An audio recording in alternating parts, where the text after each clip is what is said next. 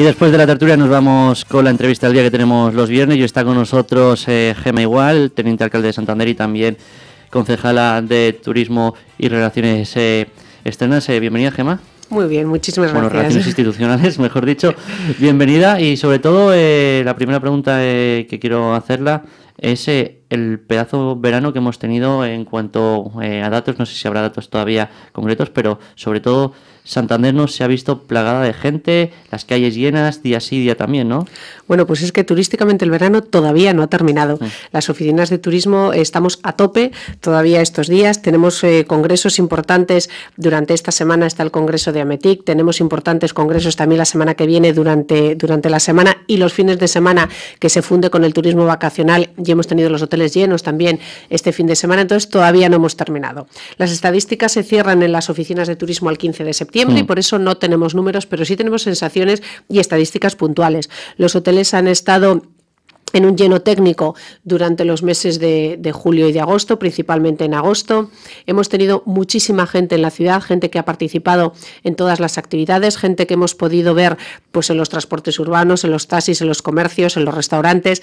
Y, y yo creo que hay que agradecer al sector turístico porque la relación calidad-precio en Santander nos hace seguir teniendo fama, nos hace seguir fidelizando al turista que viene y en este verano también hemos notado un incremento de turistas extranjeros sobre todo turismo, turismo francés. Son muchas las causas por las que venir a, a, la ciudad. Estamos ahora dentro también del Camino de Santiago, que acaba de ser reconocido por la UNESCO. Mm. Estamos dentro de la España Verde, estamos dentro de Culcitis. Eh, creo que, que, el buen tiempo también en otras regiones eh, o el excesivo calor en otras regiones también nos da a la ciudad pues otro poder para atracción de, de visitantes y de turistas. Que el buen tiempo que ha hecho en Santander y los fines de semana también hace que la gente que igual ha estado en julio se piense volver ver un fin de semana si hace buen tiempo y hemos subido el número de visitantes y de turistas, pero también ha subido el precio medio de las estancias en nuestra ciudad. Esto es bueno para las empresas turísticas, esto es bueno para los hoteleros que llevaban mm. unos tiempos,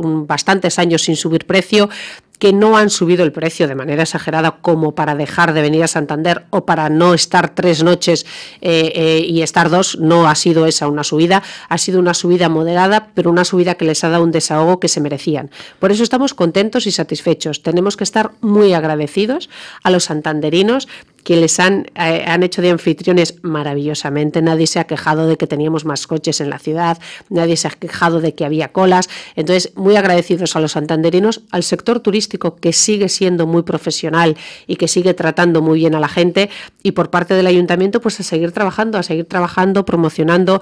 Yo he estado martes y, y miércoles en Madrid teniendo mm. reuniones de congresos. Creo que vamos a, a traer un congreso que, que, bueno, se anunciará yo creo que la semana que viene de, relacionado con, con, la medicina para el año 2018, que es a lo que he ido. Hemos estado también en el Consejo de, de, Turismo de la Federación Española de Municipios y Provincias y ahora nuestra ciudad estará representada en el Consejo Nacional de Turismo y en la Mesa de Calidad, con lo cual yo creo que tenemos eh, bueno, pues mucho camino por delante en el turismo, muchísimo trabajo, pero también tenemos que ser agradecidos y, realistas y, y, hacer un balance muy bueno este verano. Hay que destacar que ha encadenado el sector turístico dos meses eh, de récord y es que se, se nota la ciudad. Yo creo que recuerdo que eh, no he visto a tanta gente en las calles de Santander. Eh, hacía muchísimos años.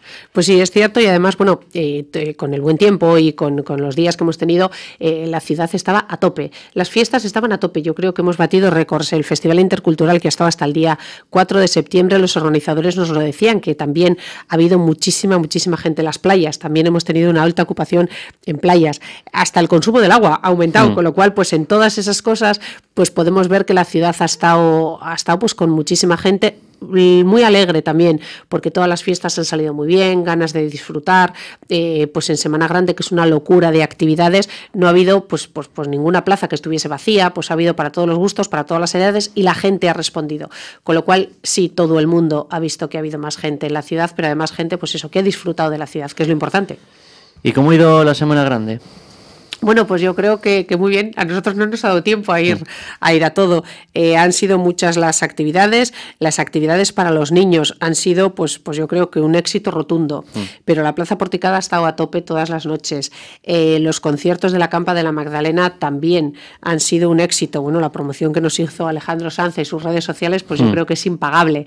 Porque además fuimos a, recibirle y estaba realmente contento de estar en la ciudad. Él se alojaba eh, en el Hotel Real y es lo que nos decía. Dice, bueno, es que ver esa bahía por la mañana pues es maravilloso. Nos prometió venir de vacaciones, a ver si lo puede cumplir, pero, pero yo creo que, bueno, que todo el conjunto de la Semana Grande, la feria de día, pues también la calidad que nos han dado de esos pinchos los, los caseteros de, de nuestra ciudad, pues ha sido una semana de mucha alegría. Los toros han salido realmente bien. La, Eso también feria taurina, pues la feria taurina que ha sido pues tan polémica este año, eh, bueno, pues por muchos motivos o, por ningún motivo claro, pero bueno, pues ha sido muy polémica, pues también ha salido muy bien, ha habido tardes gloriosas, entonces pues, eh, pues creo que tenemos que estar pues contentos con esa Semana Grande. No ha habido ningún accidente, no ha habido nada, nada malo y la gente ha estado encantada en la calle, con lo cual pues muy bien. También quiero preguntarle sobre esa Feria de Santiago, que la gente habla, pero no ha pasado el día que menos gente ha habido, que ha sido la novia, igual había eh, eh, media plaza, ¿no? Y ahí están los hechos y que también es dinero, ¿no? Eh, para la ciudad, gente que viene fuera, que viene mucha gente, que eso también hay que decirlo, ¿no? Viene gente, mucha gente del País Vasco, mucha gente de Francia, ¿no? A los toros específicamente. Bueno, yo he estado con el alcalde presentando la Feria Taurina y porque nos pidieron ir al, Club Taurino de Bilbao, con lo mm. cual tienen mucho interés en en, venir a, los toros a Santander y de hecho pues es habitual que vengan pues grupos del País Vasco pues a comer y después a los toros. También es habitual que hay eh, determinados hoteles que se caracterizan por albergar, por alojar a las cuadrillas, que incluso hacen cenas relacionadas con los toros, que hacen tertulias taurinas. También es habitual que haya hoteles que hagan una gran inversión mm. en, en entradas porque son sus clientes los que vienen a los toros y el hotel mismo pues les puede gestionar las entradas. Con lo cual no hay ninguna duda de que la Feria de Santiago tiene público, pero tiene público porque lo hemos podido ver, no solo en la plaza, sino también en la tele, porque Canal mm. Plus también se ha interesado, ha habido televisiones que lo han retransmitido y si no tuviésemos una buena feria, pues evidentemente los medios de comunicación no pagarían por retransmitirla. La polémica de la Feria Taurina seguirá pues siempre, ¿no? Ahí estará, sí, pero también hay que situarla y hay que explicarle a la gente que en un primer momento en el Pleno del Ayuntamiento lo que se cuestiona es que no se dé aportación económica. No es una subvención, es una aportación económica la que hace el Ayuntamiento. es para mm, el mantenimiento ¿no? del edificio, del edificio Efectivamente, es que no son toros, toreros y cuernos. Es mm. exactamente es que tenemos un edificio que hay que mantenerlo y que tenemos unos puestos de trabajo que hay que pagarles. Pero es lo mismo que si a mí me dicen ahora que no se paguen las funcionarias de la oficina de turismo. Bueno, pues hay personas que pertenecen no están adscritas a la Plaza de Toros. Entonces, yo creo que hay otro trasfondo detrás, que es meterse pues con la cultura del toro, pero eh, de momento lo que sí que todos los grupos políticos dijeron pues que, no, que no querían que se diese dinero a la Feria de Santiago. Quedó pendiente de que el Consejo de Administración cierre cuentas y vea la viabilidad económica de la feria y de esos trabajadores si no hay aportación municipal. Entonces, bueno, yo creo que eso aún está por resolver, pero hay que situar a, quienes nos están oyendo en que, en que, bueno, pues que yo creo personalmente que hay otras razones más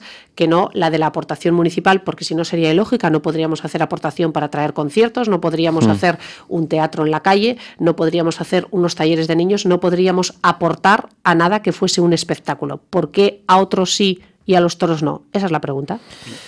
Más temas que tenemos que tratar, eh, dejando el turismo de lado, hay que hablar eh, del MUPAC, que se queda en Santander, eh, y la ubicación va a ser ese parking pues pegado al Palacio de Festivales, que ha levantado mucha polémica, ¿no? ¿Qué tiene que decir el Ayuntamiento al respecto y sobre todo a la ubicación?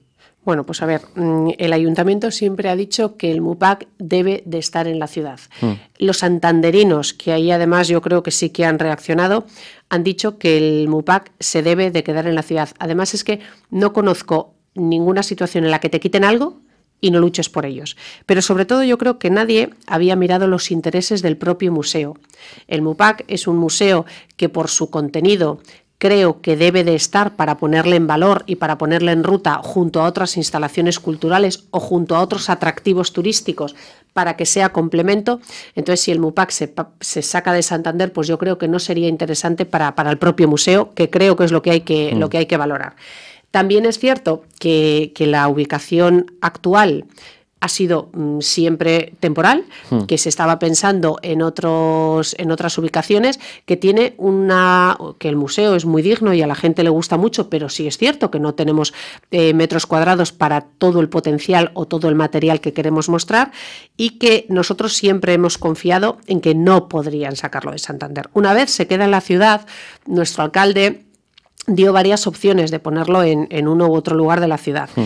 Evidentemente, pues las Clarisas, por ejemplo, hubiese sido maravilloso, en donde han dicho pues que es más caro, pero bueno, al final tendrán que hacer un museo y tendrán que rehabilitar también, se tendrá que rehabilitar las Clarisas. Pero bueno, una vez se queda en Santander, nosotros estamos contentos y apoyaremos para que el museo pueda abrir sus puertas cuanto antes y referente a la ubicación que ha propuesto el, gobierno, pues realmente yo también como responsable de congresos espero que se siga atendiendo a ese aparcamiento que hace falta para albergar congresos, mm.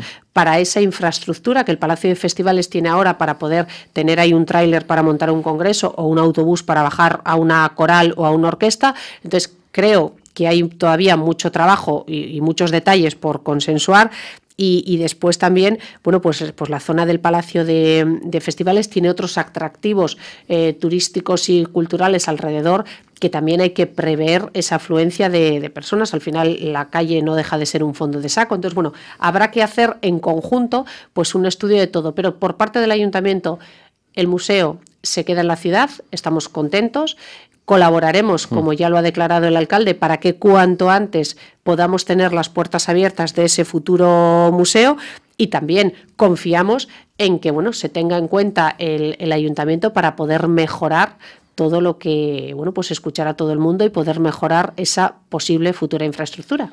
Y en cuanto al Reina Sofía, también ha habido enfrentamiento eh, con el gobierno. ¿Para cuándo también no empezaremos eh, a ver por fin eh, ese Reina Sofía en Santander? Bueno, pues yo creo que más pasos desde el ayuntamiento ya no podemos dar, o sea que mm. más impulsos, más empujones no podemos dar porque, porque realmente eh, el último paso es que el ayuntamiento está dispuesto a adelantar la, inversión mm. y, bueno, ahí estamos pendientes también de poder formalizarlo con el, con el gobierno. Tenemos que, firmar un documento y tenemos que realmente echarlo hacia adelante. Eh, de verdad que creo que son infraestructuras muy importantes para la ciudad. Creo que tener en Santander una sede asociada al Reina Sofía es mm, pues importantísimo también. Y luego mm, hay que mirar, además de por la cultura, evidentemente hmm. que es eh, una dotación cultural y, la importancia nadie la duda, es por crear zona, pero lo mismo que, que si tenemos tres infraestructuras potentes culturales, Santander va a estar en otro ámbito y vamos a tener mayor poder de atraer eh, turistas, eh, que me da igual que la razón sea la cultural, la gastronómica, la del sol y playa o la de los congresos, pero tenemos que ser capaces de sacar cabeza en algo. Y yo creo que esto es una oportunidad impresionante, junto con el Centro Botín, una sede asociada al Reina Sofía mm. y un UPAC maravilloso, tenemos otra herramienta más. No tenemos que conformarnos con lo que tenemos, tenemos que ser ambiciosos para poder traer todo y lo que tenemos es, pues eso, que buscar soluciones como las se busca el ayuntamiento. Si el problema es el dinero, el ayuntamiento lo adelanta y luego ya el gobierno nos lo devuelve. Pero yo creo que eso es eh, el ser proactivo y el ir a buscar las oportunidades, porque si no, mañana habrá otro que tenga, eh, nos haga competencia y se lo llevará. Y nos queda poco tiempo y tengo que hablar también del comercio en Santander, donde eh, los pequeños comerciantes os han pedido ayuda tanto al gobierno regional como a los ayuntamientos, ¿no? Para pues solucionar esta grave situación que según ellos están pasando. Bueno, pues es cierto que nosotros tenemos que, luchar porque eh, las pequeñas, eh, que las pymes, sobre todo pues el pequeño comercio, mm. pues principalmente son pymes, eh, ayudarlas a, bueno, pues a esta transformación que yo creo que también que las nuevas tecnologías, que, ha cambiado mucho la manera de, mm. comprar y sobre todo para la gente joven. tenemos que trabajar para que ellos sean cada vez más competitivos, para que tengan otro tipo de herramientas y de hecho el lunes se ha firmado un convenio con la EOI y con Orange para, para, que puedan tener unos cursos de iniciación en redes sociales, de que ellos no tengan que desplazarse a adquirir estos conocimientos, si no son unos cursos online, no tienen tampoco que ser usuarios de Orange, pero sí que, que tengan esas habilidades. A lo mejor un pequeño comercio pues puede crear un catálogo por internet, hmm. puede contestar al, cliente, claro, mm, bueno, adaptarse entre otras muchas hmm. cosas. Eh, yo creo que el comercio también este verano ha tenido un respiro, pero es cierto también que los meses de invierno pues son duros. Tenemos que ser capaces de trabajar conjuntamente, de ponernos cada uno en la piel del otro, de hacer cosas conjuntas y de que el comercio en la ciudad pues, pues reviva o podamos todos habituarnos, acostumbrarnos e incentivar comprar en el centro. Pues nos quedamos sin tiempo, Gemma Igual, muchísimas gracias. Muchísimas gracias a vosotros, de verdad. Y esto es todo por hoy, finaliza Cantabria el Día. Ahora os dejamos con la radiografía de Patricia Prida. Pasad un feliz fin de semana, adiós.